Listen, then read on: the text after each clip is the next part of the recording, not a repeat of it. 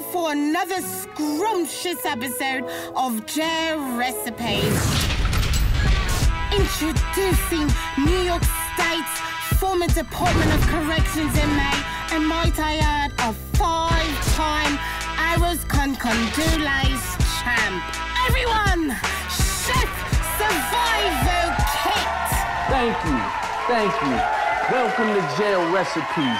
I'm your host, Thirstin Howl III. But in the kitchen, I'm known as Chef Survival Kit. Because around me, you can never say there's nothing to eat. This show will teach you how to utilize anything you have to make a complete, delicious meal out of whatever. Jail recipes so good. You gotta try Yes, you do. You gotta try them. Today, I'm gonna introduce to you one of the all-time classic jail recipes: the pulpo with calamares in rice. I think I might throw some corn in there too, or maybe some gandules, but I'm gonna hold back on the gandules and save that for another episode. Right now, let me introduce you to the ingredients. You know, you start with the pulpo. You know, pulpo is like, I eat this raw if I have to. You know about the calamari? But this is an ink, like it got its own ink. You know, this is squid or whatever, but this adds the flavor and it helps make the rice black. Then you throw the corn in there, onions. You know, I like onions even in my cereal. The sofrito. There's nothing real without the sofrito, but this is the jail recipe brand as well. So, so you add some recaito, throw some adobo in there, the jail recipe adobo. Of course, you gotta have the rice. You need some oil so the rice won't stick together. And you top it off with the pique at the end of everything. This is like putting the frosting on a cake. The pique adds that extra spice and all that to make it real, real delicious. So now that you've seen all the ingredients, it's time to pull out the pot. Yeah, pull out the pot, roll something, man. I gotta get my appetite right. I got you, I got you. I see a lot of people get all fancy with their cooking utensils on their shows and all that. Name brand Tupperware, CorningWare, and this and that. You know what? All that ain't even necessary. This is how Chef Survival Kit gets down. These are Grandma's original cooking utensils straight from her kitchen. Some of these pots are older than me, so there's a lot of years of flavor left behind in them. Maybe that's cheating, but y'all wanna eat, right? Let's see. We about to turn it up right here.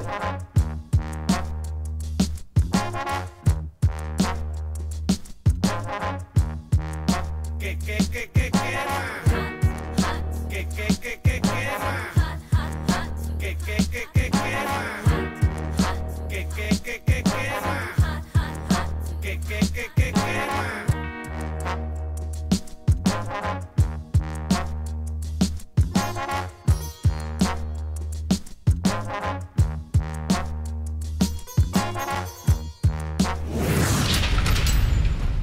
right, the calamares and rice is boiling. Trying to let it boil up. You gotta let it boil up, you know, to where all the water evaporates. Then you cover it and all that. So while that's boiling, I'm gonna make a side dish of some plátanos. You know about the plátanos. But remember, you know, this is jail recipes, but we're not in jail, so you don't have to be limited to the jail resources. You know, I'm not in jail, I'm a free man. I'm gonna cut me up a plátano, I'm gonna throw it in the pot, and we're gonna chef it up. Chef survival kit style. And you don't gotta be Dominican to eat plátanos either. You know, there ain't no real secret to um the way you're supposed to slice a plátano and all that, but um, all you gotta do is cut it up. Let it sit in some water for a minute and all that.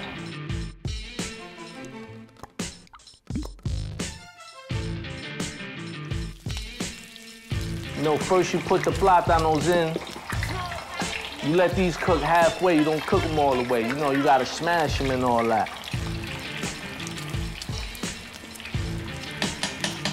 All right, now you see the water is evaporating out of the rice, you know?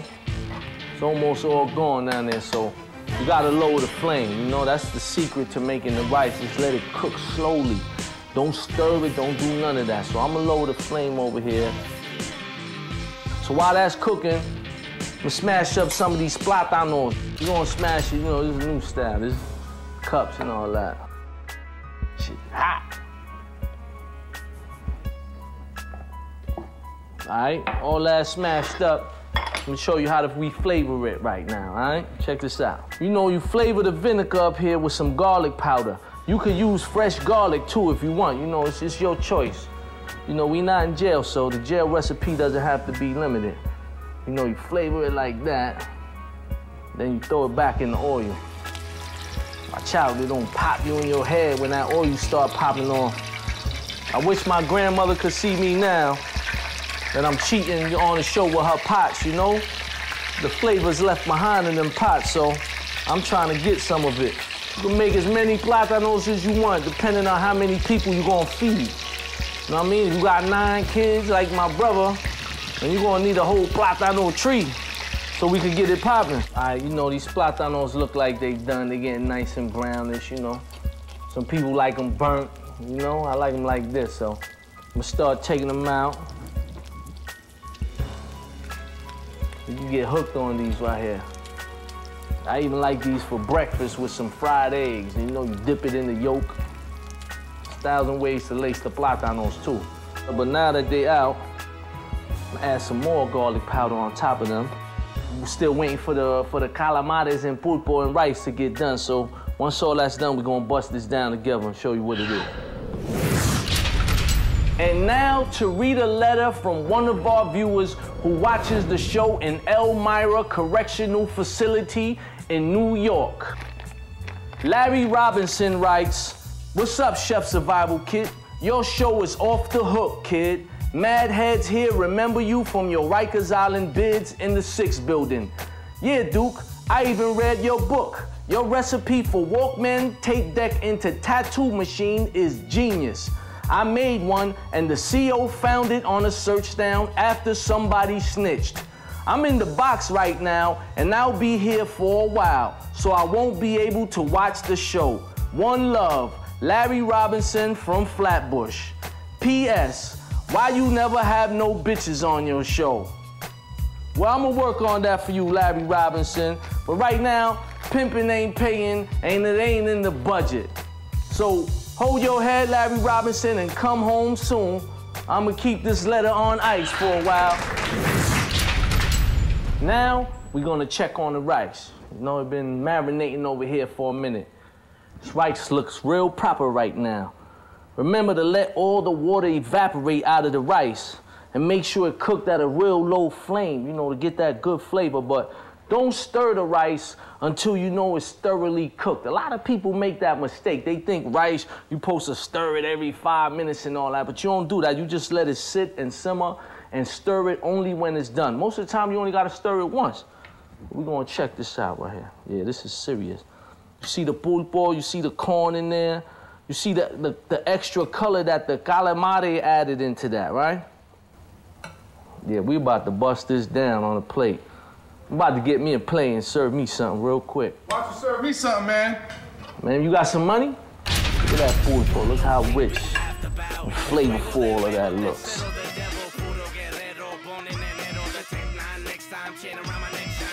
I ain't gonna OD, I'm gonna just eat a little bit right now, you know, satisfy my, my taste buds, but let that cook a little while longer.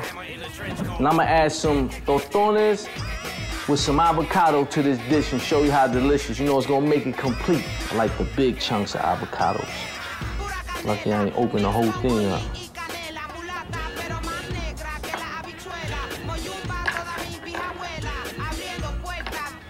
This looks real serious, so it's about to go down. But first, you got to add the pique. You know what the pique do, kid. Then you bless it, and you take a sample.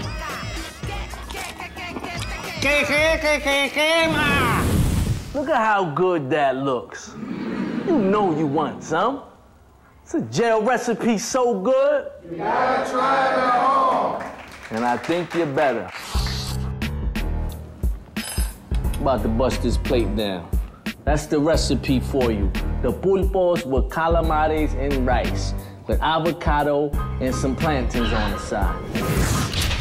For more of these and other delicious jail recipes, buy my book, Chef Survival Kits Jail Recipes, available at bookstores everywhere.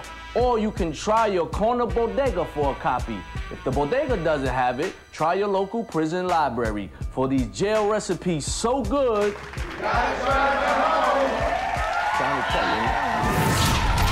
I'm your host, Chef Survival Kit. Thank you for watching Jail Recipes. Back up off my plate before you get cut.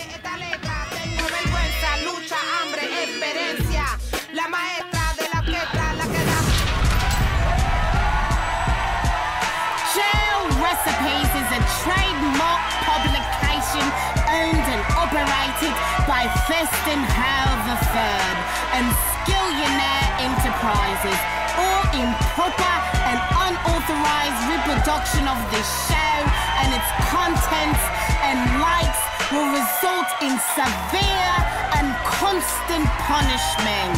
All laws ghetto applicable without limitation to taking your motherfucking life. China, China.